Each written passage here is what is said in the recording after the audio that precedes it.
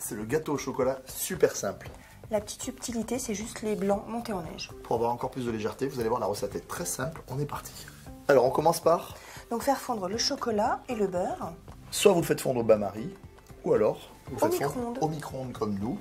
Voilà, on va surveiller ça. Tac, puissance assez forte.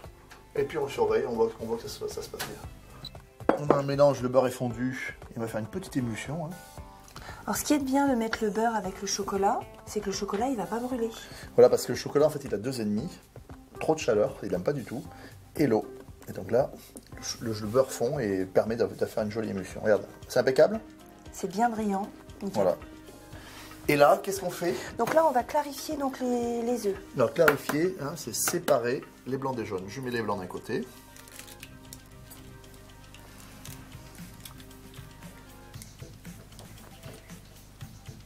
Hop.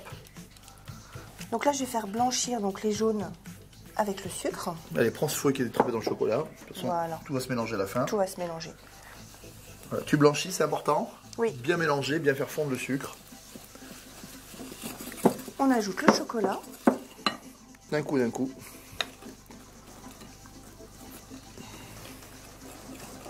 On ajoute la farine. Toute la farine.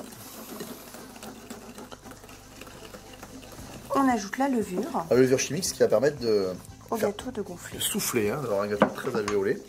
Et petit geste de chef, petit détail, on met un tout petit peu de sel, ce qui vous permet d'avoir un joli contraste entre le sucré et le salé. Donc maintenant on va monter les blancs en neige, hein, très simple, un fouet. Et puis surtout c'est que le, le fouet soit bien au contact des blancs. Et voilà.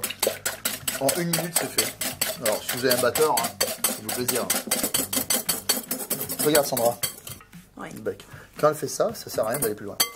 Maintenant, comme j'ai très très mal au bras, tu vas les incorporer très délicatement. Je te mets tous les blancs comme ça. Voilà. Voilà, et on va faire, on fait On un mélange tout. un petit peu mousseux. hein. Voilà. Donc Allez. on va y aller très doucement. Donc ton gâteau au chocolat, vraiment, on a vraiment un gâteau euh, super simple, qui est très chocolaté, Oui. un petit Très peu gourmand. sucré, très gourmand. Donc on ne mélange pas trop pour pas faire retomber les blancs. Ah ouais, c'est dommage. Allez, Voilà. vite dans le moule. Et on met vite dans le moule. On a préchauffé notre four à 175 degrés et on va cuire entre 20 à 30 minutes le gâteau. Ce qui est important, c'est la fameuse lame du couteau. Il faut qu'elle ressorte bien sèche. C'est pas un coulant au chocolat. hein. On a un vrai gâteau au chocolat de famille. Vous allez voir, la recette est très très bonne.